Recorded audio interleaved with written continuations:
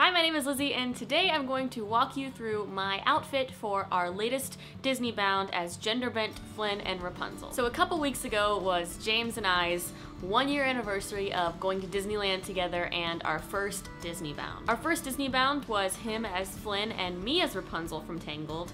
So as a one year celebration, we wanted to pay homage to it and swap the genders and do it again. This is one of my favorite Disney bounds we've ever done and we look so styling, like more styling than we've ever looked in our lives probably. So the first piece I got was this shirt and I got this from Ross so it was pretty cheap. It's very stretchy and light so I knew I wouldn't get too hot and it has this cool little renaissancey feeling lace thing and these are like really in fashion and on trend these days. I've seen a lot of girls wearing these types of shirts and I really like it just as a normal shirt too. So that was a win-win. And then I found this denim vest at Target.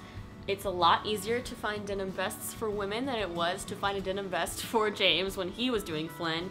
Um, we ended up having to just buy a jacket for him and cutting off the sleeves, but there were a lot of options at Target. There's like a baby crying. Shut that baby up. For shoes, I got these at Ross uh, just because I needed some little brown boot shoes. I didn't have any really already, so these are definitely gonna come in handy for a lot of future outfits. And then the skirt. So I got these shorts that I thought I liked whenever I tried them on and then I bought them and I took them home and James showed me the rest of his put together outfit and he looked way cooler than me so I wasn't as happy with the shorts that I got before. So the morning we were going to Disneyland, I was like, can we just stop by Target just really quick? If I don't find anything, then I'll wear those shorts.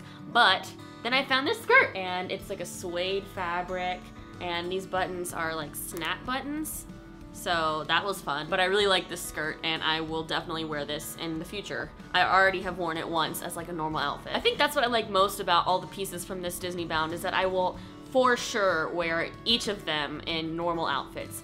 Whereas some of the ones that I've previously gotten, like the Merida dress that I got and the Princess Leia dress that I got, I can't see myself wearing those again, but all of this stuff I definitely will. My favorite part about doing this bound was meeting Flynn and Rapunzel at the park. We knew they were coming out, we checked the app, we were the first people in line, and when we walked up to them, we kind of explained how we Disney bounded as them last year, and then this year we swapped it, and Flynn and Rapunzel were like, this is so cool! Flynn said, this is the most creative thing I've ever seen. So, yeah, high praise. And then later we came back around when they were doing their show at the Fantasyland Theater and Flynn saw us and like pointed to us and waved to us specifically multiple times throughout the remainder of the show. They loved us. It was great.